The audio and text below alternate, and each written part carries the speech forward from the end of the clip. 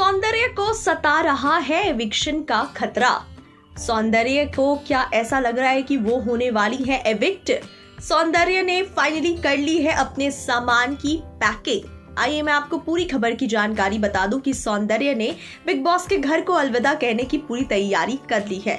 नमस्कार, मैं स्निग्धा स्वागत करती हूँ और आप सभी का हमारे चैनल पर। तो ऑलरेडी आपको बता दूँ कि बिग बॉस के घर में टोटल चार कॉन्टेस्टेंट्स नॉमिनेटेड हैं, जिनमें है सुम्बुल शालीन, टीना, सौंदर्य। ऐसे में वेल जिस तरीके से देखा जा रहा है तो बिग बॉस के अंदर ये माहौल देखने को मिला है कि सौंदर्य अपने एविक्शन से काफ़ी डरी हुई है। खास तौर पर सौंदर्य का मन तो ये था कि वो फिनाले तक कम से कम रहें और वो फिनाले के दिन वाले आउट हो। लेकिन यहाँ पर कहीं ना कहीं अब सौंदर्य को ये लग रहा है कि आखिरकार अब उनकी घड़ी आ चुकी है बिग बॉस के घर को अलविदा कहने की।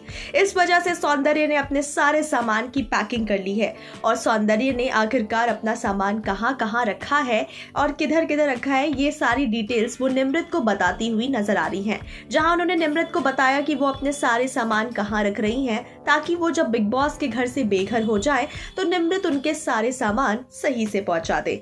तो यहाँ पर कहीं ना कहीं सौंदर्य ने पूरे सामान की पैकिंग कर ली है और सौंदर्य काफ़ी ज़्यादा वेल श्योर है कि वो ही इस हफ़्ते हो रही है बिग बॉस के घर से बेघर। ऐसे में चार कॉन्टेस्टेंट्स नॉमिनेटेड है, जैसा मैंने आपको बताया कि शालीन, टीना, सौंदर्य और सुम्बुल इन चारों में से आपको क्या लगता है, क्या वाकई सौंदर्य की इस बार बारी है बिग बॉस के घर को अलविदा कहने की? इन चारों में से आपके गैसेस क्या है? कौन हो जाएगा बेघर? कमेंट करके ज़रूर बताएँ। क्या आपको लग रहा है कि सौंदर्य का डर बिल्कुल लाजमी है? सौंदर्य ही बेघर हो जाएँगी? कमेंट सेक्शन में कमेंट करें। टिल देन स्टेट यून टू आर चैनल